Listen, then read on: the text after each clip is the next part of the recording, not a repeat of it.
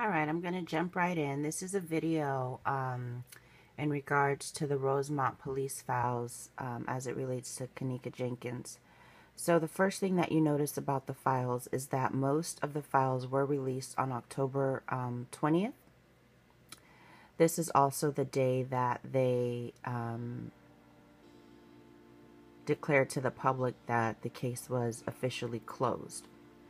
There's only one file in here that was updated on December 15th. And so those are the files that um, I've mostly been checking out. First thing that you're going to notice when you get in this file is that on November 29th, 2017, the Facebook Live video was sent to Target Forensic Services, and they even have the tracking FedEx number. And they're um, awaiting further analysis. So this right here alone, this document is proof that the case is in fact um, not closed, not even close to being closed. They're still waiting for um, analysis. Okay, another thing I want to show you, um, there's a detective, um, oh, okay, that's not this. This one um, is in regards to the cameras on the ninth floor. So uh, Kenneka's mom said several times that there was cameras on the ninth floor of the hotel, outside of the elevator, and near the freezers. And um, right here, you can see Lieutenant Muich uh, and I, which is Detective Dilla Ikova, followed up at Crowne Plaza on October 21st. Okay? They checked for the surveillance cameras with negative results. Alright, so that means that Kenneka um, was found on, I guess, like the 9th or whatever of September. And they didn't get around to checking these cameras um, until the 21st of October. So that's about 40 days later, 40 days later, they checked for these cameras, which I think is really sloppy. Um, another thing I want to point out is there's a Sergeant Thomas Doulas and he met with um, people that were at the party on September 28th, 2017. He completed his interviews.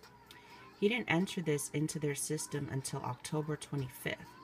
This is a full month after his in person interview, and also this is um, five days after they declared the case was closed. He was entering his reports in the computer. So when everybody was going through these files, these reports weren't in here. these reports weren't in here. These interviews weren't in here. All this wasn't in here. Okay? So this is report number 40. This is Sergeant Thomas Doulas. He did this on September 28th. He didn't enter it till October 25th. Report number 139, he did it again. Met with somebody on September 28th, didn't enter it until October 25th. Okay, report number 138, he did it again. Same sergeant, same dates. Talked to the person on September 28th, he didn't enter it till October 25th.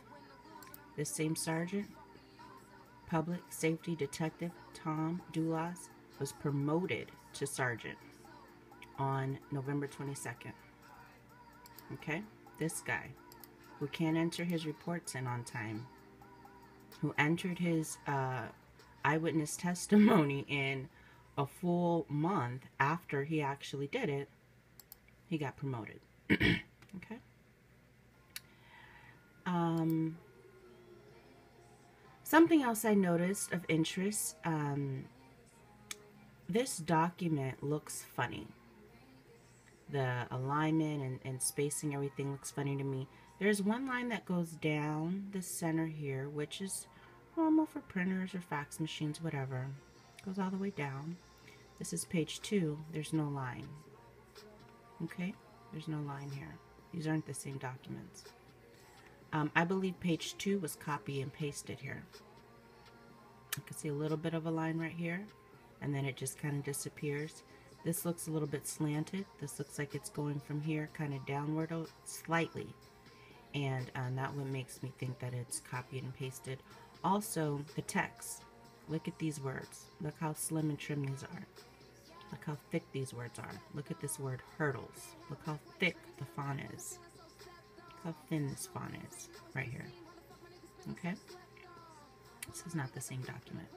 It's supposed to be page one of two, and this is supposed to be page two of two. It's not the same document. This is a good example. This is the same document. This is this is a two-pager. It also has the line going down, right? You can see this light, light gray line. This is like a printer line, okay? And it's going down the same, uh, the same on the second page.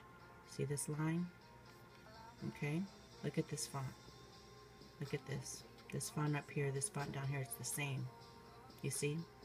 Page one and page two, it's the same. It's the same thing. This one, no. It's not the same. Look at this. Look at these words. Look at this word. Look at this line. There's no line on this page. Okay? So that's all I want to talk about today. I have more coming soon, um, but I just wanted to um, just point out some inconsistencies that I've seen in the Rosemont case files and also let people know keep going, don't stop. Um, the case is not over, not even close to being over. There's a lot of um, a lot of um, things that I've noticed that were sent away to um, what is this department called? Target Forensics that um, didn't come back. Um, they requested quite a few phones, etc. So the case is not closed. There is some fishy stuff going on. Um, how much we could trust these files, I don't know. You know, when they, when they do stuff like this, I don't know. You know, I don't know.